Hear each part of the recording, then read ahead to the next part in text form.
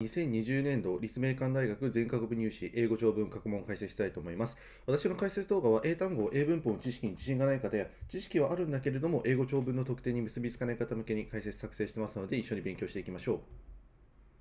過去問解説始める前に英語長文読解で押さえるべき3つのポイントについて解説します。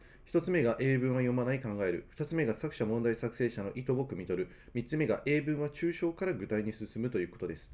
この3つのポイントを押さえて英語長文取り組むとどんなメリットがあるかというと、時短でコスパよく回答できることや正答率が向上する。それからそもそも英語を読まないので、英単語、英文法の知識があまりない方でも英語長文で得点することができます。ポイント1つ目、英文は読まない考えるですが、まあ、皆さんね、英文は読むものだろうという認識があると思うんですけれども、英文読んでると難しい英単語とか難しい表現に出くわして、そこで考え込んでしまって、時間がかかって時間切れという経験ありますよね。なので考えましょうということです。考えるっていうのは因果関係とか対比関係を用いて、英語長文本文の話の展開を類推することをここで考えるというふうに言っています。2つ目が作者問題作成者の意図を汲み取る。バットとかハエバとか逆説の後って作者の主張が来やすいですよねで。そういう作者の主張の部分が説問になったりするんですよね。なので、正答率を上げるためにも、こういう作者の主張、意図を汲み取りましょうということです。3つ目、英文は抽象から具体に進む。第一段落の1文目って結構英単語が難しかったり、表現の抽象度が高くてわからないこと多いですよね。で、最初からわからないので不安になってしまって、不安になりながら英文読み進めるみたいなことあると思うんですけれども、英文っていうのは同じ話が具体的に繰り返されているだけなんですね。なので、同じ段落で言えば、後半の方が英文が具体的になっていて理解しやすいと。でそこで理解することができれば、同じ話が繰り返されているだけですから、その段落全体を理解できたということことになりますよね。そういう英文の構造というのも一緒に確認していきましょう。攻略手順ですが、もちろんさっきのポイント3つを意識してもらいながら、英文は読みませんので、単語をピックアップしていきながらメインテーマを掴んでいきます。で、ここで言ってる単語っていうのは別に別に難しい単語である必要はなくて、皆さんの知ってるレベルの、ね、単語で十分かなというふうに思います。それから話の展開を類推すると。で、類推した話の内容が正しいかどうかを確認する。これがステップ3になります。なので、まずメインテーマをつかむと。で、メインテーマがつかめたら、あとは類推確認。ステップ2、ステップ3。これの繰り返しによって、英語長文全体を理解していくという流れになります。私の解説動画もこの攻略手順に基づいて解説を行っていきます。では、英語長文本文の方見ていきますが、まずね、読み始める前にやらなければいけないことは、中ですね。ここを見ましょうということです。まあ、日本語で書かれているわけですから、ここ大ヒントなわけですよね。で、ここで何をしなければならないかというと、ここはステップ1ですね。メインテーマをここである程度掴んでいきたいなというところになります。で、えー、ここから見るに、まあ、どうですかね。単語同士の関連性で言うと、まあ、環境管理、環境保護、牧草地とかもそうか。あとは、生態系サービス。まあ、この辺から考えるに、なんか今回は、環境の話がメインテーマになりそうだなってことは、ここで類推してくださいということです。ここの類推はね、そんなに難しい類推じゃないと思います。はい。で、ここでなぜ類推することが大切かというと、最初何にも情報がない中でいきなり英文ね、読み始めるのと、こういうふうに何かしらメインテーマがこうだろうというふうに当たりをつけて情報を入れてから英語長文取り組むのでは、最初のハードルが全然違いますよね。皆さんはちゃんと中を見て類推をして、で、そこでハードルを下げて、難易度を下げてから英語長文皆さん取り組むようにしましょうということになります。では確認、ね、したので、今回はね、環境の話がメインテーマになりそうだろうということを念頭に入れて、英語長文、はい、見ていきますが、ね、英文は読みませんので、単語をピックアップしていきます。で、ピックアップすべき単語っていうのは私マーキングしてますので、お手元に過去問がある方は同じ場所をマーキングするようにしてください。逆に言うと、マーキングしていない黒文字の英単語っていうのは、英単語の意味がわからなくても問題ないと思います。ここは私も読み流す、見流す程度でやっていくので、あくまでもマーキングしている英単語、ここを見ながら話の展開の類推、ね、メインテーマをつかむ、ここら辺をやっていきますきましょうということになります。はい。で、早速ね、見ていくと、まあ、名詞とかね、ちゃんと見ていきたいですね。そうすると、中の1番、いきなり出てきますね。えー、コヨーテ。って、まあ、何なんですかね。わからないです。はい。えー、知ってる方いるでしょうか。ね、コヨーテよくわからないですけれども、次見ていくと、アピアリング、なんか現れると。で、ニューヨークになんかたびたび現れてると言ってるんで、なんか動物なんですかね。はい。という感じです。で、えー、次見ていくと、なんかその出現場所がね、いろいろ書かれてますね。マンハッタン・リバーサイド・パークとかね、あいろいろ出てますけど、まあ、この辺はね、そんなにあの英文読む必要ないですよ。で、えー、どこに出てくるのかってことをただ言ってるだけの話なんでね。はいまあ、ニューヨークシティの、まあ、具体化ですよね。これまさにまあポイント3の一つでもあるのかなと思います。英文が抽象から具体に同じ話が繰り返されていると。で、一文目がニューヨークで現れると。で、そこ以降、ハイフン以降でニューヨークの具体的にどういう場所で現れるているかっていうふうに英文が同じ話が具体化されているだけですので、まあ、この辺はね、えー、そんなに見る必要はないかなと。同じ話の繰り返しなんで。はい。ということです。だから第一なんだかもう同じ話の繰り返しですね。コヨーテがニューヨークに現れていると、もうそれ以上でもそれ以下でもないかなというふうに思います。で、次の段落いきましょう。バッと、はい、しかし来ました。ね、これポイント2でやりましたよね。逆説の後ですよ。逆説の後。っていうのは何が来やすいかというと、作者の主張が来やすいと。いうことですよね。で、そういうところっていうのは、説問になりやすいということですよね。だから、ここはちゃんと見ていかなきゃダメですよ。英文読み流しちゃダメです。第一段落みたいに。ここはちゃんと見ていきましょうということです。で、見ていくと、えー、The facts that、uh, stories って言ってますあ、those stories って言ってますけど、これは何のこと言ってるんですか ?The fact って、その事実って何の事実ですか？具体的に言うとこれ、ザって言ってるんだから、もうすでに英語長文本文の中には出てきているわけですよね。いるから、そのザってさせ指すことができるわけですからね。はい。もうすでに出てきているわけです。だから、このザ・ファクトってすでに出てきた内容で言うと何なんですか？というかもう一つしかないですよね。今まで出てきた内容。雇用停止の話しか出てきてないですが、雇用停の話ですよ。はい。ね、これ雇用停の話を言ってるんだっていうことはちゃんと確認しておきたいですね。ザとかザットとかディスとかゾースとかディス、こういう指示語が出てきた場合は何を指しているのかっていうのはちゃんと一回立ち止まって考えないと、英文で何言ってるか分かんなくだんだんなってきちゃいますよということです。ここはまず立ち止まりましょう。で、次見ていくと、それが Reflects New York's Fascination with Nature。はい、Nature っていうワードが初めて出てきたので、ここはマーキングしておきたいですね。ニューヨーカーズが自然に魅了されていることを反映しているということをなんか言ってますと。はいはいはいという感じで、まあそうなんだぐらいですよね。はい、で次見ていくと、Love Stories of Survivor Tree ね、なんか木を、生き延びてる木を愛してますね、ニューヨーク人が。はい。で、これも要はファッシネーションの具体化ですよね。というか、このラブはファシネーションの、まあ、言い換えとも言っていいんじゃないでしょうか。これ、同じ話がやはりポイント3ですよ。繰り返されてますよね。いいですか、ここ。だから、ニューヨーカーっていうのは結構自然大好きなんだってことなんですよ。ね。えー、その後も書いてあるように、なんか切り倒されそうになってる木をなんか、あ守ろうとしたりね、えー、してるわけで、結構自然好きなんだということを書かれていますね。はい。で、最後、more than、uh, 50% of the parks in city and natural、ね。50%の以上のニューヨークシティの公園っていうのは、まあ、自然を形成してるって言ってるんです。だから結構自然好きなんですよね。で、ニューヨークって意外と自然あると。なんか都市だから、ね、なんかビルばっかりじゃないのかと思いきや、意外と公園もあるし、なんかそこをちゃんと自然が形成されてるということここ書かれてますよということですね。で、メインテーマの類推してましたよね。今回環境の話なんじゃないかって言ってましたけど、ここら辺ですよね。もう nature とか natural とかね、こういうワードが出てきた時点で、あ、当たってるなってことですよね。皆さんがした類推、環境がメインテーマっていう類推は当たってるなって、この第二段落で確信を持てるんじゃないでしょうかということです。だからこういうふうに類推確認、類推確認、これの繰り返しなんですよということ。それからポイント3、英文は抽象化具体に同じ話の繰り返しということ。この2つが分かっていれば、大体の英文、英語小文はは攻略できるというふうに思います。はい、いいでしょうか。じゃあ次の段落いきましょう。で、ここ結構大切ですね。あの、What do people actually think about nature in the form of parks? とかね、えー、これ疑問文が続いているじゃないですか。でこういうところ大切ですね。疑問文は必ずマーキングしておいた方がいいと思います。はい。なぜなら、なぜなら、疑問文のその答えですよね。ファットって聞いて、そのファットの答えが、この次の段落から書かれてくるんじゃないかっていうことが類推できるんで。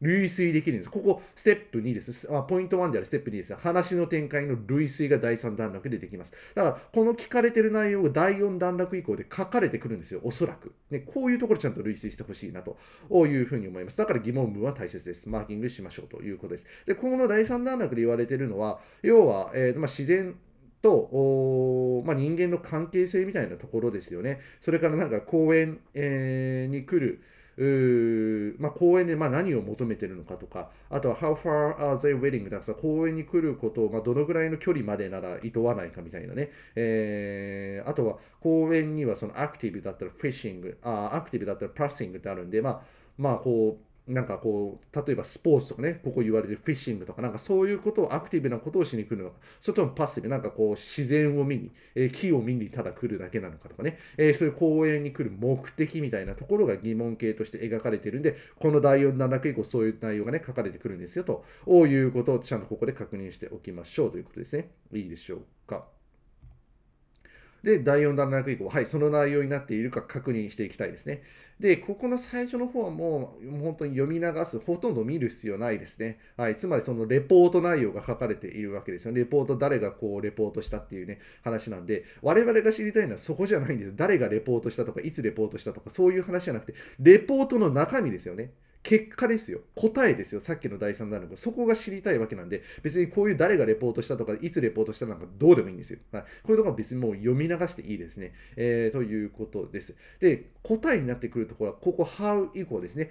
How New Yorkers interact with the parks around cities えー、ジャマイカベイというんですかね。はい。ということで、えー、まあ、どのぐらいこう、インタラクトね、魅了されているのか、こう、興味を持っているのかと、関係性が近いのかということを言ってます。で、この後もね、あんまり、うん、マーキングするようなところじゃないですね。なんか調査の内容ですよね、これね。えー、誰に調査をしたとかね、え何人ぐらいが調査に参加したとか、そういう内容なんで、まあ、ここもどうでもいいですね。我々が知りたいのは調査のプロセスじゃなくて、結果なんですよ。はい。で、結果がようやく第次の段落からね、第5段落から書かれてきますね。findings あるから、こっからだということです。こっから要注意です。見なきゃいけないです。はい、見ていくと、An important number and range of activities that are beneficial to human being って言ってますね。つまり、人間にとって公園っていうのが非常にまあ、利益のあるものだということを言ってますね。で、じゃあ利益のあるものってじゃあ何なんだと。具体的にじゃあ公園に行くことである利益って何なんだっていうのが、この後具体化されてくるわけですね。これポイント3ですよ。英文は抽象から具体に同じ話の繰り返しです。じゃあこのベネフィカルって一体何なんだと、ベネフィカル to human beings って何なんだっていうふうに見ていくと、書いてありますよね。Activities, recreation, socialization, and engagement with the environment, as well as supporting social ties 書いてあるじゃないですか。これがベネフィカルの具体化でしょ？え？英文っていうのは具体化しているんですよって、これをちゃんと認識しながら英語長文取り組んでいれば、何ら難しいことはないんですよ。いいですか？はい。ということです。だからそういうことです。アクティビティだったり、まあ、こう、社会的にね、えー、なんかこう友達とかね、えー、を作ることが公園に行くことでできたりとかね、コミュニケーションを取れたりとか、まあそういうことは利益だということを言ってるわけですよね。まあそういうのは別に想像に難くないですよね、その辺はね。いいでしょうか。はい。えー、で、次見ていきましょう。おで、バット以降ですね。はい。えー、バット以降が大切なんですということですけど、potential for increasing people's environment って言ってますね。えー、バットの前まではなんかこう、エンバイロメントプログラムですかね。なんかこう、環境保護活動とかにあんまりその積極的に参加する人もなんか多くないということを言ってるんですが、しかしですね、この後が大切です。しかし、ね、そういう人もこう参加するような、ね、え環境保護に参加するような environment、environment とか、えー、 papers environment、ね、が increasing するようなポテンシャル可能性っていうのを秘めてますよねってことをこれ言ってますね、作者は。だからこういうふうに、要は公園っていうのがこれだけね、我々に、え、利益、ね、 beneficial をね、え、くれるわけですから、ちゃんと環境保護っていうところにも人間が取り組むようになる可能性はね、え、メリットを人間が感じて参加する可能性はあるんじゃないかということですよね、ここね。いいでしょうか。はい、次見ていきましょう。お次の段落です。で、えー、ここから bring to travel to get to this park って言ってるんで、これ出てきてましたよね。えー、前のところで聞かれてましたよ、How far are they willing to travel to get there? ね、えー、第3段落で聞かれてました。まさにこの答えが今、来ようとしてるわけですよね。どのくらいの遠さまでなら公園来ますみたいな。あことです。3キロ以上ですか ?5 キロ以上ですか？みたいな。はい。あ、3キロ、まあ3キロ以内ですか ?5 キロ以内です。かみたいなことです。よね。えー、の答えが来るわけです。よね。そうやって見ていくと、もう書いてあります。ね。はい。マーキングしてます。が、雑37%が within 4分の1マイルです。けれども、おこれ、ゾートが大切なんです。よ。ゾート。ね。けれどもって言ってるんです。よ。ね、私、ポイント2でも言いまして、大切なのは逆説以降なんですよ。逆説以降に作者の主張が来るんです。だからこの譲渡の後の37%ってのはどうでもいいんですよね、はっきり言って。大切なのはこの26%以降です。26%以降が何言ってるのかっていうと、えっ、ー、と、1マイル、まあ、2分の1から1マイルぐらいの遠さでも来るよと。で、さらに37%、1マイル以上でも公園にわざわざ来るよ。つまり、遠いところからでもわざわざみんな公園に来るんだよっていうことが作者が言いたいことですよね。これ皆さんいいでしょうか？ね。はい、近場じゃなくて遠いところからでもわざわざ来るぐらいにみんな公園にま飢えてるというかね公園にやっぱりメリットさっきみたいにベネフィカルを感じてるんでしょうね。だから来るわけですよね。はい、ここいいでしょうか。ちゃんとここ作者の主張を掴んでおいてくださいね。ということです。はい、それから次見ていくと、えー、more than a third of visitor or more than a mile ね、まあ、3分の1以上が、ま、1マイル以上でもま来るということを言ってます。で、まあ、ドライビングだったり、ウォーキングだったり、まあ、バイスクをね、自転車に乗ってきたりとか、まあ、いろいろですけれども、はい、この後、getting fit って言ってますね。つまり、健康にいいと。おとりあえずそれっていうのは別に公園じゃなくて、バット以降です。これも大切な。their way。つまり、ウォーキングとサイクリングと、つまり歩いてきたりとか自転車乗ったりして来るわけですよね。公園に来るわけですよ。their way 来るわけですが、ね、当然健康にもいいですよね。運動になってるわけですから。ね、まあ、車で来ちゃうとあんまりね、運動にならないのであんまり良くないかもしれないですけど、まあ、ウォーキングとバイスコルの場合はいいでしょうということをこれ言いたいわけですよね。だからこれもやっぱりバッということが大切なんですよということです。はい、次の段落いきましょう。えー、maybe be expect almost、えー、70%がアクティブってきましたね。はい。ね、これも、ね、聞かれてましたよね、第3弾だけど。active as in fishing or passive ね。アクティブを目的にしてきてるのか、それともパッシブを目的にして公園に来てるのか。ね。書かれてまして、これの答えがまさにこの段落書かれてくるということですよね。70%が active。だから結構ね、 active 目的に来るんですよね。ただし、当然、 but 以降ですね。はい。 but 以降10%は何なんですか？当然。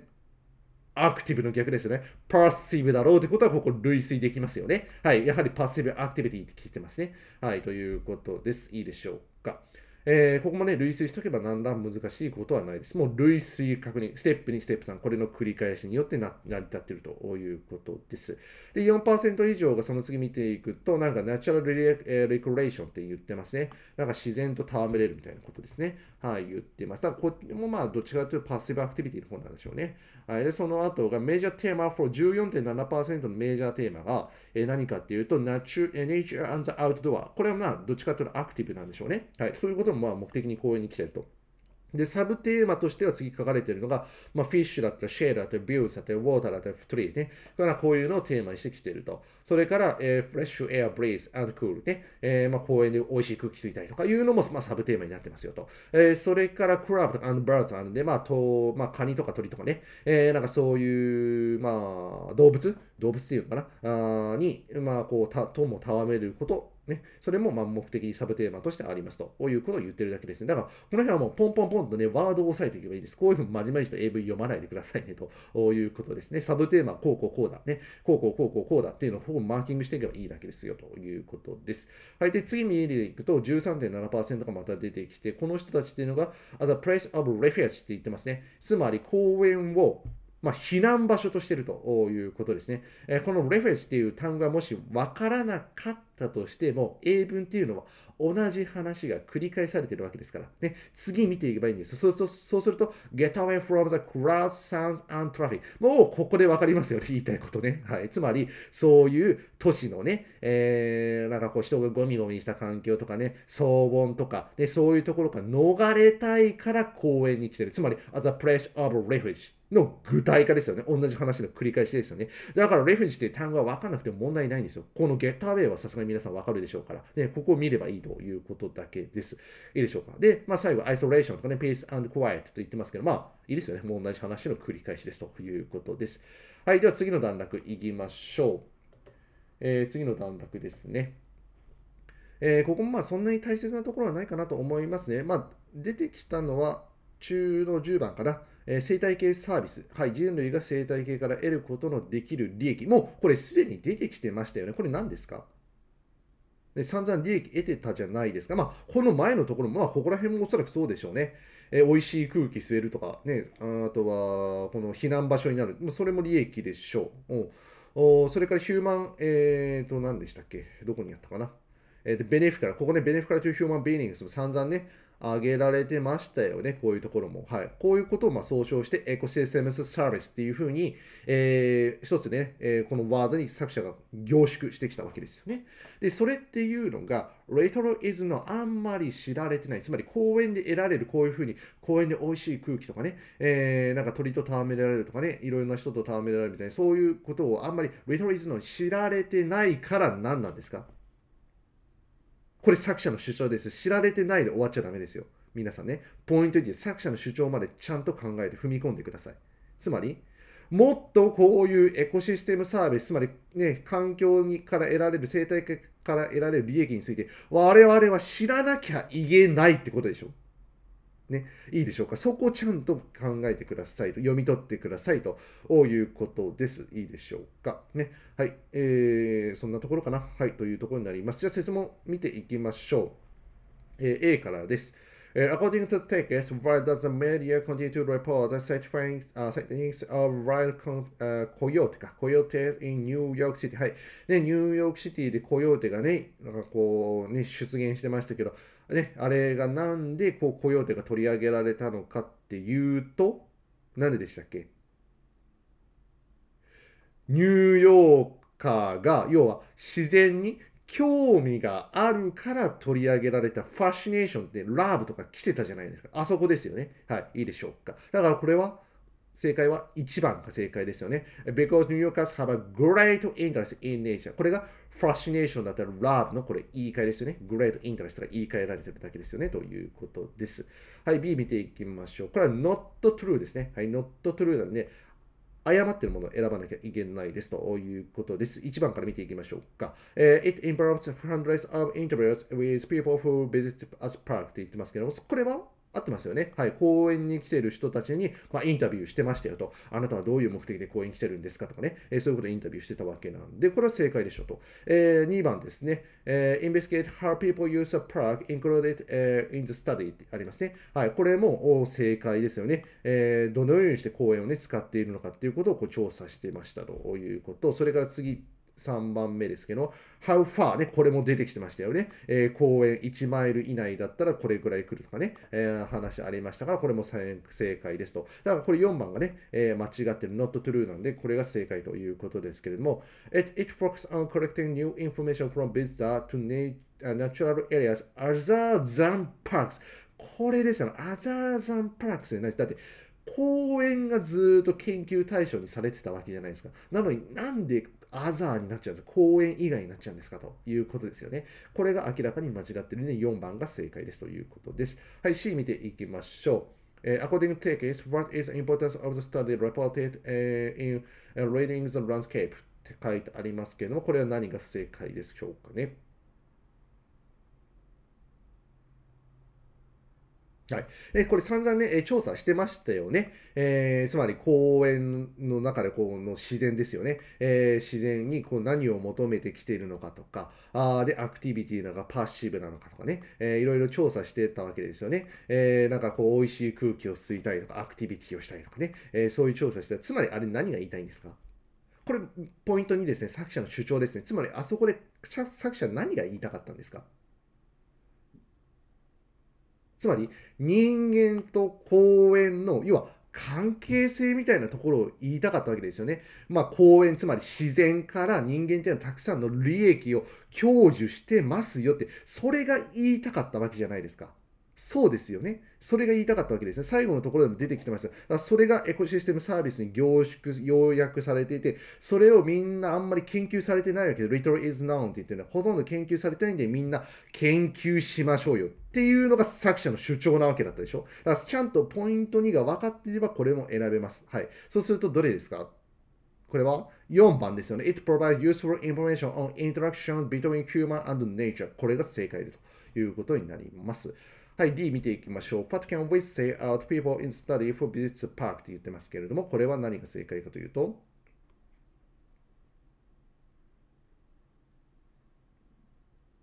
これは4番ですね。Uh, over half of them were engaged in official groups えー、あ、4番じゃない、1番ですね。A major, a majority of them lived within a mile of the park、ね。これが正解ですよね。はい。えー、ほとんどの人っていうのが、えっ、ー、と、マイル、ワンマイル以内でしたよね。で、の人が公園に来てましたよね。もちろんそのワンマイル以上でも公園に来てたんですけど、ワンマイル以上で公園に来る人っていうのは、えー、と3分の1ぐらいでしたかね、サードオブビジターだったので、3分の1以上ぐらい、ね、だったので、まあ、大半はですよ、50%以上は逆に言うと、1マイル以内から公園に来てるということですね。だからこれが正解ですということになります。